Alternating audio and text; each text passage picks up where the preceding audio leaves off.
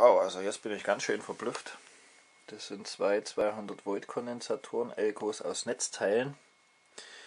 Mit normalen Keramikkondensatoren, die Gleichrichterbrücke kennt ihr. Hab's ans Gehäuse von dieser Lampe angeschlossen. Was normalerweise ist das geerdet. Ja, ist geerdet.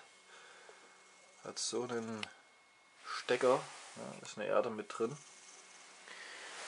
und bin hier vom Minus aber auch noch auf eine Erde gegangen. Also habe ich den jetzt eigentlich zwischen Erde und Erde geschalten.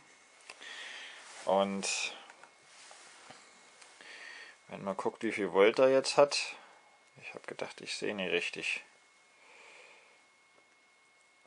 Vorsicht.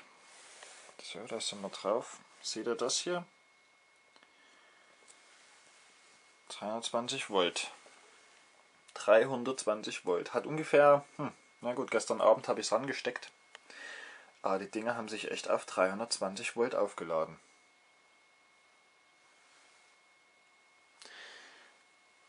Das soll mir mal jemand erklären. So, mal gucken, ob ich jetzt einen verwischt bekomme oder nicht. Eigentlich mag ich das überhaupt nicht, Kondensatoren kurz schließen. Ähm oh, okay, da war ordentlich Saft drauf gewesen. Jawohl, mehr als ordentlich.